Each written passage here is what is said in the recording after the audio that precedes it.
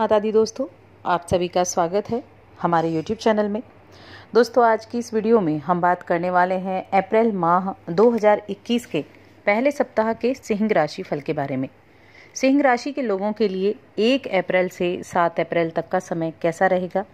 इन सात दिनों में ग्रह नक्षत्रों की स्थिति कैसी होगी? कौन सा ग्रह अपनी राशि बदलेगा और उसका प्रभाव आपकी दिनचर्या पर कैसा होगा? जानेंगे सब कुछ विस्तार से इन सात दिनों के बारे में। तो आगे बढ़ने से पहले आपसे छोटा सा निवेदन है। अगर आप चैनल पर पहली बार आए हैं तो चैनल को सब्सक्राइब कर लें और जुड़ जाएँ हमारे चैनल के साथ। दोस्तों, एक अप्रैल से सात अप्रैल तक की हम बात कर रहे हैं और अगर हम इस सप्ताह की देखें तो इस सप्ताह की शुरुआत गुरुवार के दिन से होगी, जो कि कृष्ण पक्ष की चतुर्थी तिथि होगी। इस दिन विशाखा नक्षत्र होगा और बहुत ही सुंदर योग के साथ सप्ताह की शुरुआत हो रही है। सर्वार्थ सिद्धि योग इस दिन बनेगा, वज्र नाम का योग इस दिन बनेगा। चंद्रमा वृश्चिक राशि में होंगे और सूर्य तो मीन राशि में ही है, रेवती नक्षत्र में। वहीं सात अप्रैल की बात करें तो सात अप्रैल बुधवार का दिन कृष्ण पक्ष की एकादशी तिथि है, घनिष्ठ नक्षत्र होगा इस दिन और चंद्रमा की स्थिति मकर राशि में होगी, यानी चंद्रमा तीन भावों में सक्रिय होंगे, वृश्चिक धनु और मकर। अब सिंह राशि की हम बात कर रहे हैं। सिंह राशि के लोगों के लिए चौथा, पांचवा और छठा, ये तीन भाव सक्रिय होंगे, जिसके अनुसार आपको अपनी दिनचर्या में परिवर्तन देखने को मिलेंगे। इसके अलावा, इन सात दिनों में बहुत बड़ा परिवर्तन भी होने वाला है। एक तो महीने की शुरुआत में ही, यानी एक अप्रैल को। बुध का गोचर होगा। बुध अपनी नीच राशि, मीन राशि में प्रवेश करेंगे और वहाँ जाकर नीच भंग राजयोग का निर्माण करेंगे। दूसरा गोचर 6 अप्रैल को है। 6 अप्रैल को गुरु बृहस्पति मकर राशि से निकलकर कुंभ राशि में प्रवेश करेंगे, यानी अब शनि अलग हो जाएँगे और गुरु कुंभ राशि में एक ज़बरदस्त योग का निर्माण करेंगे। ऐसा योग जिसका इंतज़ार पिछले छह महीने से हो रहा था, गुरु बृहस्पति का महाकुंभ। तो इसका भी प्रभाव अब सिंह राशि के लोगों को देखने को मिलेगा।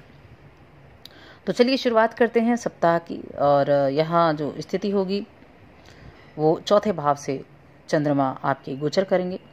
चौथे भाव से चंद्रमा का गोचर आपके तीसरे भाव में केतु विराजमान है।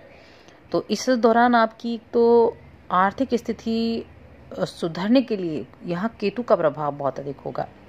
आपके भविष्य के लिए बड़ा मददगार साबित होगा। आप अपने परिवार के साथ, अपने दोस्तों के साथ अच्छा समय व्यतीत करेंगे और आपका स्वभाव बड़ा सहयोगपूर्ण होगा। यानी आप हर किसी का सहयोग करते हुए दिखाई देंगे। उदार स्वभाव होगा आपका। लेकिन जब आप ज़रूर से ज़्यादा उदार हो जाते हैं तो ऐसी स्थिति में लोग आपका फ़ायदा उठाना चाहते हैं। तो इस चीज़ का ज़रूर थोड़ा सा ध्यान रखें। अगर आप किसी काम में अपने कुछ दोस्तों का या अपने सहयोगियों का सहयोग चाहते हैं तो आपको उनसे ज़रूर बात करनी चाहिए, सहयोग मांगना चाहिए, आपको सहयोग ज़रूर प्राप्त होगा।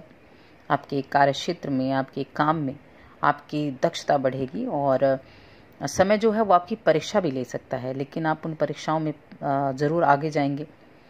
आपको अपनी इच्छा अनुसार परिणाम प्राप्त करने हैं तो आपको एकाग्रता ज़रूर दिखानी होगी अपने काम के प्रति, विद्यार्थियों को अपनी शिक्षा के प्रति एकाग्रता रखनी होगी। इस समय में आप अपने बड़ों के अनुभव के आधार पर कुछ चीज़ें सीखेंगे और उनके अनुभवों का इस्तेमाल करके आगे बढ़ने की कोशिश करेंगे।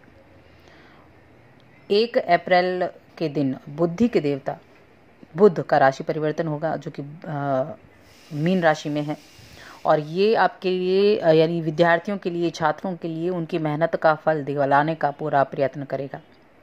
सफलता की प्राप्ति आपको हो सकती है। प्रतियोगी परीक्षा की अगर तैयारी कर रहे हैं तो उनको अपने भाग्य का सपोर्ट तो मिलेगा ही, साथ में आपकी जो मेहनत है, वो भी बड़े काम आएगी। अब मध्य सप्ताह की बात करें तो चंद्रमा आपके पंचम भाव में होंगे, और पंचम भाव में चंद्रमा की स्थिति बेहद अच्छी है। आपको सेहत संबंधित छोटी मोटी परेशानियाँ ज़रूर हो सकती हैं। थोड़ा सा सेहत का आपको ध्यान रखना है। और इसके लिए आप नियमित रूप से योग कर सकते हैं। आप व्यायाम को अपनी दिनचर्या में शामिल कर सकते हैं। और कुछ थोड़ी बहुत वाहन चलाते समय आप सावधानी ज़रूर बरतें। लेकिन कामकाज के लिहाज से ये वक्त काफ़ी बेहतर साबित होगा। कुछ अच्छे विकल्प आपके पास होंगे, जो आपके लिए अच्छे साबित हो सकते हैं। अब आपकी राशि का स्वामी अष्टम भाव में और योग दर्शा रहे हैं कि आप अगर कोई निवेश कर रहे हैं तो आप सोच समझ कर निवेश करें। हर तरह से सोच समझ कर आपको निवेश करना होगा। अगर आपका मन किसी बात को लेकर बेचैन है तो सबसे पहले अपनी दुविधा को, उस बेचैनी को ख़त्म करें। किस वजह से? उस चीज़ का आप हल निकालें। तभी जाकर आपका मन भी काम में लग पाएगा। दोस्तों के साथ अच्छा समय बिताएँगे, उनके साथ खुशी के पल बिताते हुए दिखाई देंगे। और कुछ महत्वपूर्ण जीवन से जुड़े क्षेत्रों में आप फैसले लेंगे। धन से जुड़े हुए भी कुछ फैसले लेने वाले हैं। काफ़ी हद तक आपके काम सफल होने वाले हैं। यूँ तो ये पूरा सप्ताह आपके पारिवारिक जीवन में शांति लेकर आएगा, लेकिन हो सकता है कि घर में कुछ ऐसी चीज़ आपकी खो जाए, कुछ ज़रूरी चीज़ आपकी खो जाए या टूट जाए, कुछ ऐसी स्थिति हो सकती है।